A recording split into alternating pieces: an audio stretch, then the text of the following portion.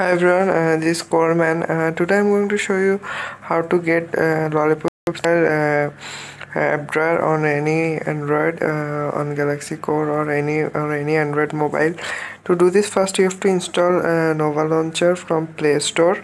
Uh, Nova Launcher version 3.3 this is I am using the prime version which is the 3.3 version then you should go to dock uh, no uh, sorry uh, then you should go to drawer and select this show pages as cards like this.